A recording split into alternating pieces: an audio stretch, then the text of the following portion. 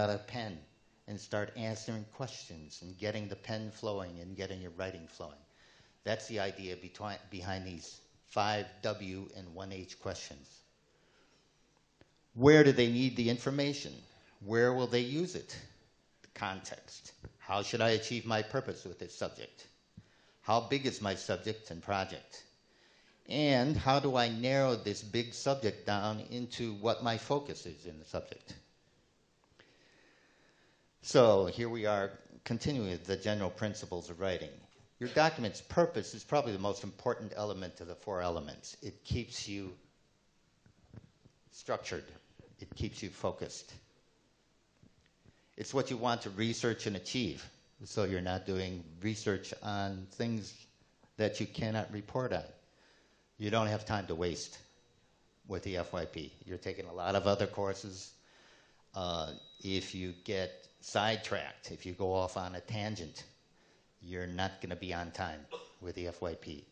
So uh, this purpose and being very clearly focused on what your purpose is is going to help you to do the research that you need to do and not to waste time thinking, writing, doing research on things that you're not going to report on. Right at the very beginning, I want you to write a temporary draft of a purpose statement, a statement of purpose. You can change the statement of purpose, but I want us to be talking in the smaller groups, 20 people, about what your statements of purpose are. You're going to be rewriting them and rethinking them and rewriting them as you're doing research and as you're talking to your advisors, but I want you to be thinking about what your purpose is right from the beginning. It will help you focus your research and help you focus your, your writing later on. Okay.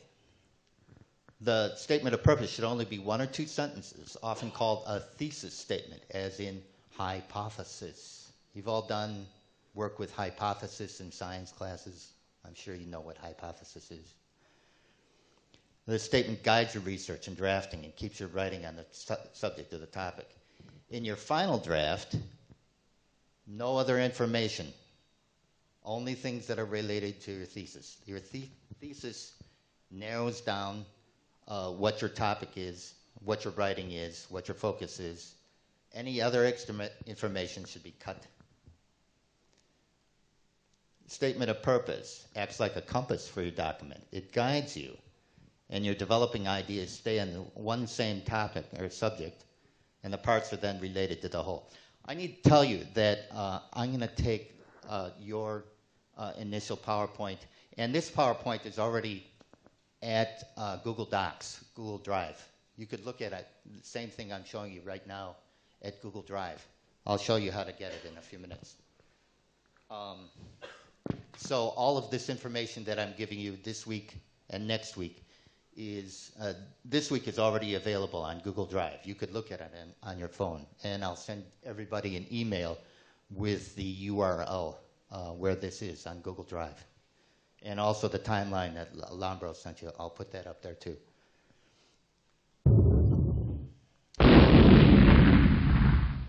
You have to use an action verb. That's really loud.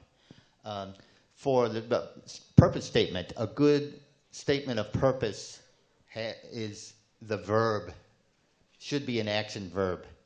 Uh, it will help in making the statement of purpose effective for you and for the reader. You can build your statement of purpose around the action verb.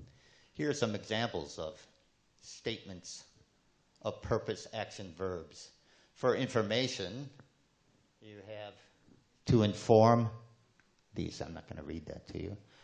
And then for persuasion, and you are doing persuasion to some degree. The FYP, what kind of writing is it? Uh, it's not like a letter to your mother. It's not like other kinds of writing. It has components of information, uh, exposition, explanation, some description.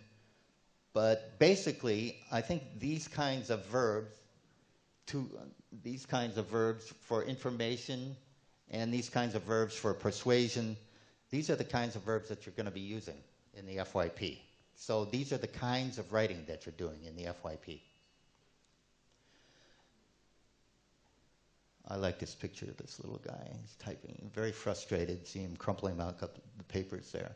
Uh, I am using a lot of things from Purdue University's online writing labs. I think probably the Language Center uses a lot of the material too. It's, it's good. And I have a link here. If you click on that, you can go directly to Purdue University's stuff. The FYP report is a detailed discussion of your work for readers who want to know in some depth and completeness the background of what was done, subject, how it was done. This is your method section, what the results were, the results section, conclusions, and recommendations section. So these are four sections that are required in the template that the Civil Engineering Department uh, gives you. Decide on the general subject of your FYP research, then manage the information you collect, sorting through text, scraps, and research data to uncover what you need. Your writing should give your primary readers, for the FYP, your advisor and second reader. Uh, I get it before they get it, but uh, they're, they're the primary readers, the primary markers. Only the information that they require. Don't write about other things. Many students, when they're talking about uh, what their statement of purpose is, at the beginning, they say, I'm going to do some research on this, and then I'm going to do some of this, and also I want to do a little this. And, and it sounds to me that they're not clearly focused, and it's not surprising when you're beginning out, you're searching for what your, your purpose is at the beginning. But eventually, you have to have one clear thing to hang things on, one clear purpose to hang things and relate things to. So you can do that with language or you can do that with your research.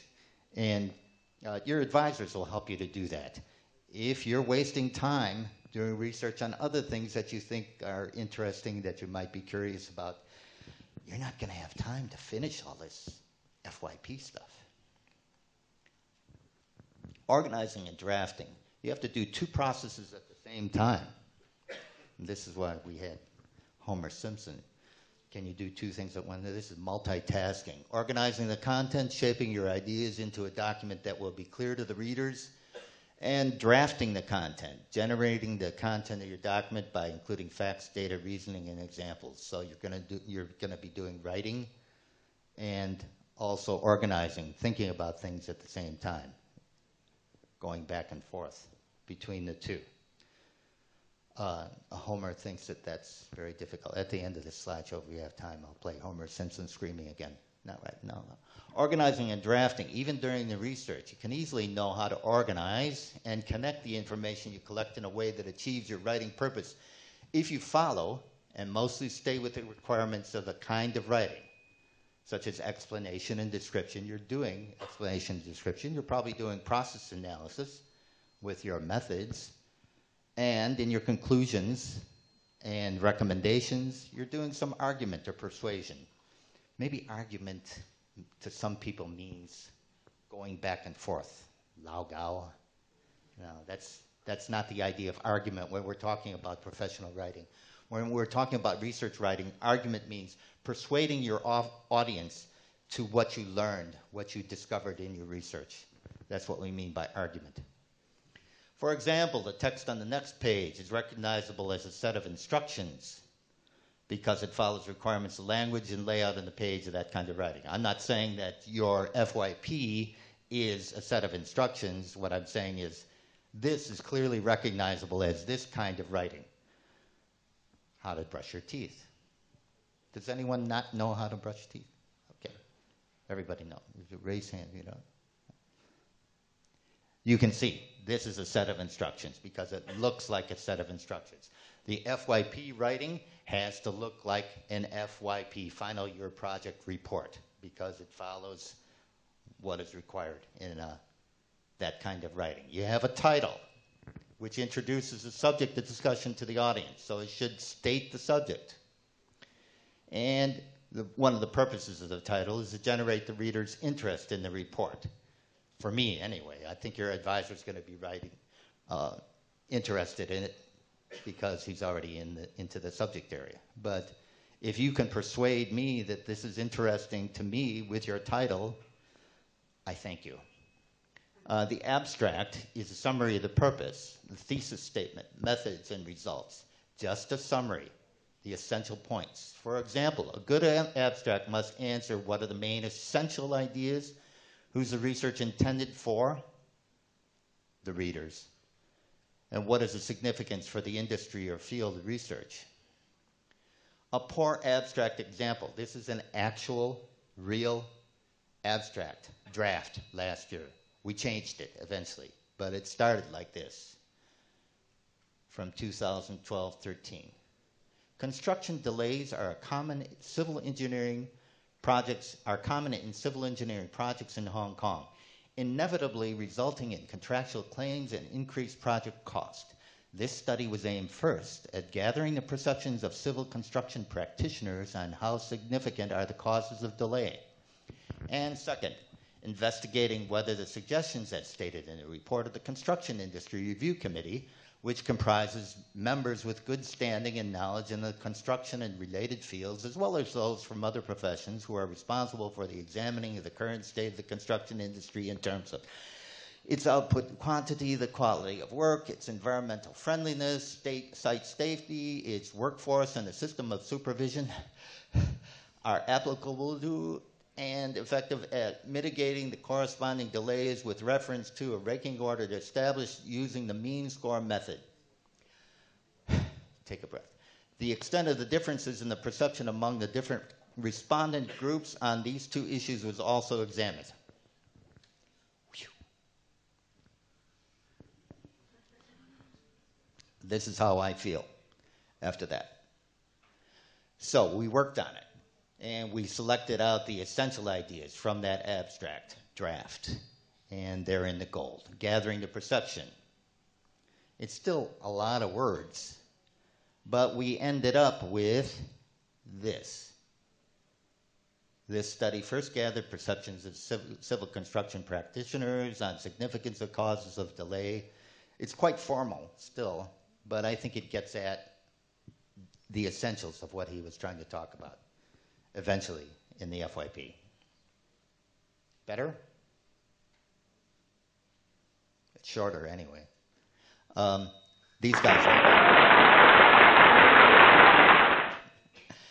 That's really loud. Okay, the idea in the FYP abstract is not to overfill the brain. Don't put too much in at one time. Your reader can't hold that much at one time. So the introduction acquaints the reader with the subject and purpose of the paper, generates the reader's interest in the topic, offers background information, usually background information. You might do a separate literature review section where you're doing very uh, deliberate and clear um, background information uh, that the reader needs to know and understand the report and its importance called the Literature Review. I hope that you do when you turned in the progress report in the end of December, uh, either a, a good reference list which has notes you annotate